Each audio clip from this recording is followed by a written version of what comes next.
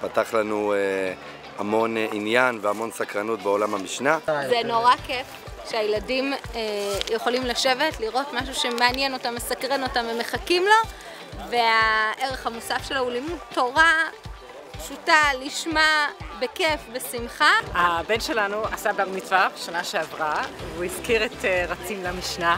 גם הוא עשה סיום על סדר מועד, זרעים ונזיקין.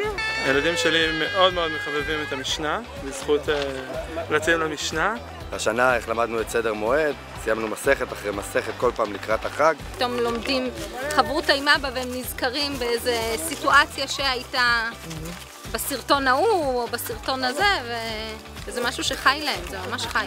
לנצל את זמן המסך בצורה מיטבית, גם ללמידה וגם לחוויית צפייה. קוראים לי בניה, ואני למדתי בחופש הגדול את רצים למשנה, וזה היה כיף. בדרך כלל אני לא אהבתי ללמוד משנה, בשבילם זה גם תוכנית טלוויזיה, זה גם מקום אה, להנאה, וזה גם באמת אה, מקום ללימוד, לימוד תורה ברמה גבוהה מאוד, עמוק, ועם זאת אה, יפה ומהנה. זה זמן מחשב איכותי. בדיוק, אתה רואה אותם על המחשב ואתה פשוט שמח שמה שהם עושים על המחשב זה ללמוד משנה, זה פשוט מדהים. אני שמעתי פה מאמא שלכם שהייתם מעירים אותה בבוקר מוקדם מוקדם, נכון? כן, מה, מתי? בשש. בשש בבוקר? מה, למה? לראות, למה? לראות את הפרק החדש.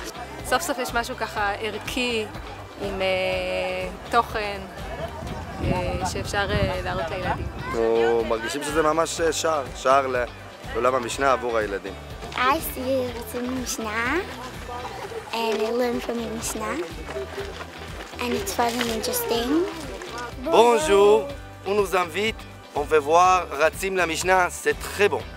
ניפגש ברצים למשנה. הווה רץ למשנה. נתראה ברצים למשנה. ניפגש ברצים למשנה! ניפגש ברצים למשנה.